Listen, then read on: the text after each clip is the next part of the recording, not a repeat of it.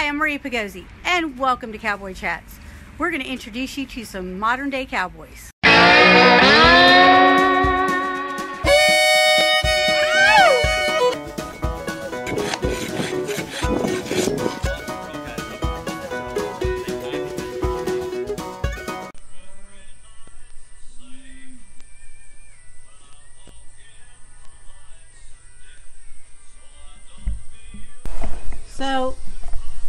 What does it mean to be a cowboy to you?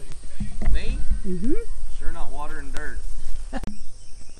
there needs to be something done, or calf needs to be doctored, or a horse needs to be worked, or fence needs to be fixed, or something like that. And you do it. You do it even when your boss isn't around. It's kind of like my boss here. He uh, he expects me to know my job and gives me a beautiful place to live and treats me like family, but he expects me to take care of it like it's my home. And that's that's what we do every day. What makes you a cowboy? Probably this awesome gardening that I'm doing here. Uh, I grew up on a on a small ranch with a with an oil field business on the side, and pretty much all I've known. I'd rodeoed my whole life, and we uh, I do what I can to get by and be well mannered and well respected, and do my best to do everything I do. And you're raising your daughter this way. Yes, ma'am, I am. The best I can. She's uh she's gonna be a force to be reckoned with here pretty soon.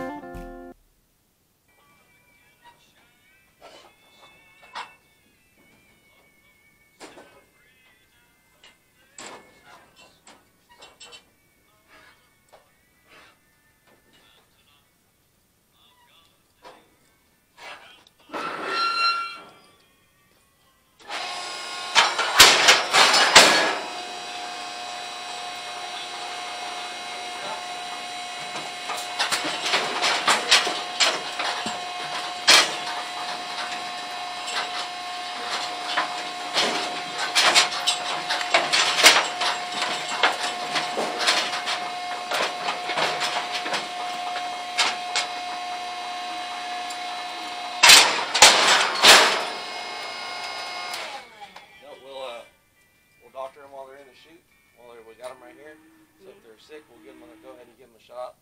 Save us a little bit of work. So.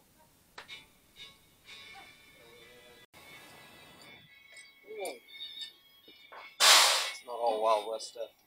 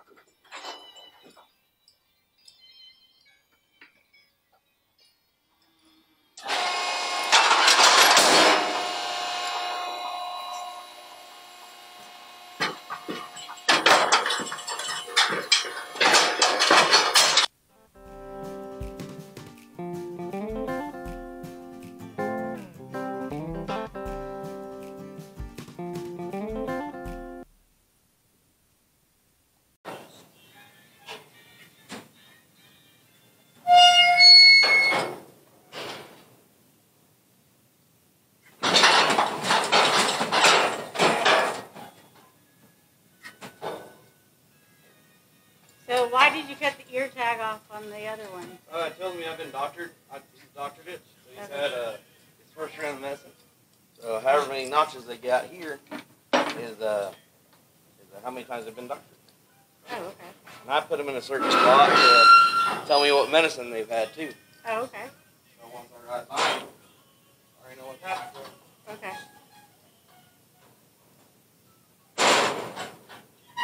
A little extra time and